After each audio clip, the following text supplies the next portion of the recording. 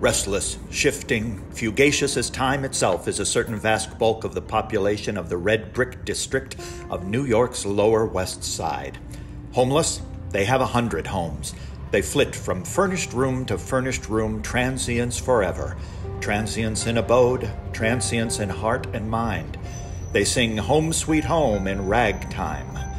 Hence, the houses of this district, having had a thousand dwellers, should have a thousand tales to tell, and it would be strange if there could not be found a ghost or two in the wake of all these vagrant guests. One evening after dark, a young man prowled among the crumbling old mansions looking for a room to rent at the 12th. He put down his lean old baggage and rang the doorbell. Then came a housekeeper that made him think of a unwholesome, surfeited worm. Come in, come in. I have a third floor back, vacant a week, should you wish to have a look at it. They trod noiselessly up a stair carpet that its own loom would have forsworn. At each turn there were vacant niches in the wall. Perhaps plants had once been set up there. If so, they had died in that same foul and rancid air. This is the room. It's a nice room. It ain't often vacant. I had some elegant people in it last summer. No trouble at all, and uh, paid in advance.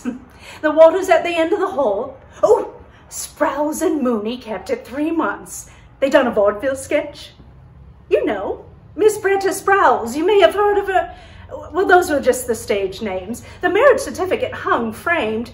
Uh, the gas is here, and you see there's plenty of closet space. It's a room everybody likes. It never stays idle long. Do you have many theatrical people rooming here? Oh, they comes and goes. A good proportion of my lodgers is connected with the theaters. Active people never stays long anywhere. Yes, they comes and goes. He engaged the room, paying for a week in advance. As the housekeeper moved away, he put for the thousandth time the question that he carried on the tip of his tongue. A young girl, Miss Vashner, uh, uh, Miss Eloise Vashner. Uh, do you remember such a one of your lodgers? She would be singing on the stage, most likely. Uh, a fair girl of medium height and slender, reddish gold hair and a dark mole near her left eyebrow. No, uh, I don't remember the name. Them actor people has names they change as often as their rooms. No, I don't call that one to mind. No, always no. Five months of ceaseless interrogation and inevitable negative. So much time spent by day in, in questioning managers, schools, choruses, by night among the audiences of the theaters from all-star cast down to music halls, so long that he dreaded to find her. He who had loved her best, he was sure that since her disappearance from home, this great city had held her somewhere.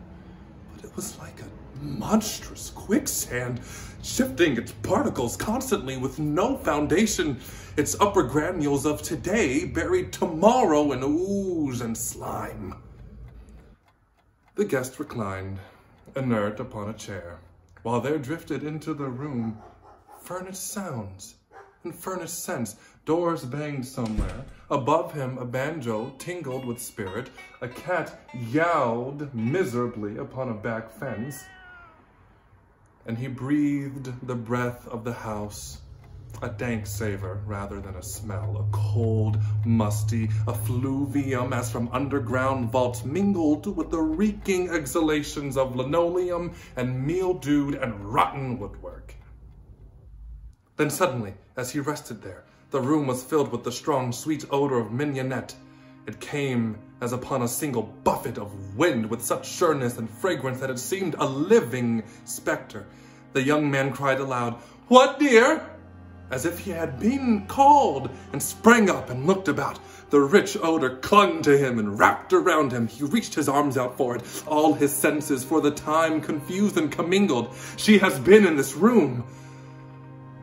The enveloping scent of mignonette, the perfume she had loved and made her own. Whence came it? Ransacking the drawers of the dresser, he came upon a discarded tiny ragged handkerchief. He pressed it to his face. It was racy and insolent with heliotrope. He hurled it to the floor. In another drawer, he found odd buttons, a theater program, a pawnbroker's card, two lost marshmallows, a book on the divination of dreams. And then he traversed the room like a hound on the scent, skimming the walls, considering the corners on his hands and knees, the drunken cabinet in the corner for a visible sign, unable to perceive that she was there beside, around, within, above him, clinging to him, wooing him, calling him so poignantly through the finer senses that even his grosser ones became cognizant of the call. Once again he answered loudly, Yes, dear, and turned wild eyes to gaze on vacancy. For he could not yet discern form and color and love and outstretched arm and the scent of mignonette. And then he thought of the housekeeper. He ran from the haunted room downstairs and to a door that showed a crack of light. She came out to his knock. He smothered his excitement best he could. Will you tell me, madam, who occupied the room I have before I came? Yes, sir, I, I can tell you again. 'Twas 'twas Sprowls and Mooney, as I said. Miss Bretta Sprowls it was in the theatres, but Mrs. Mooney she was. My house is well known for respectability. The marriage certificate hung framed over the dresser. What kind of a lady was Miss Sprowls? In looks, I mean. Why, uh, short and stout, sir, with a comical face, black hair. And before they occupied it? Well, there was a single gentleman. He left owing me a week. Back of them was Miss Crowder and her two children. They stayed four months. And before that was old Mr. Doyle, whose sons paid for him. That goes back a year, sir, and further I do not remember.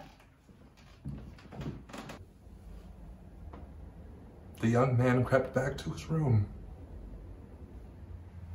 The room was dead. The perfume of mignonette departed.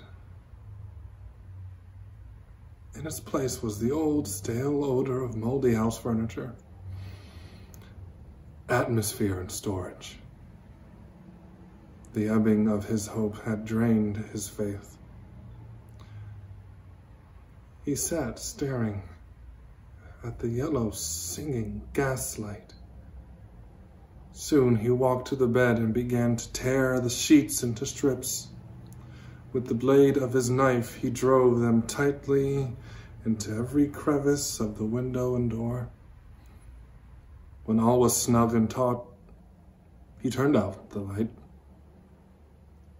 turned the gas on full again, and laid himself gratefully upon the bed. Mrs. McCool, good to have a night out, isn't it? Rented out my third floor back this evening. Finally, young man, went up to bed two hours ago. And no, my dear, I did not tell him. You know what I say. Rooms are furnished for to rent. I have a real sense for business, I do. There are some who would reject a room if they knew a suicide had been in the bed before them. She was a pretty thing, she was. Such a shame to be killing herself with the gas. A sweet little face she had, with that reddish gold hair and that wee mole by her left eyebrow. Do fill up your glass again, Mrs. McCool.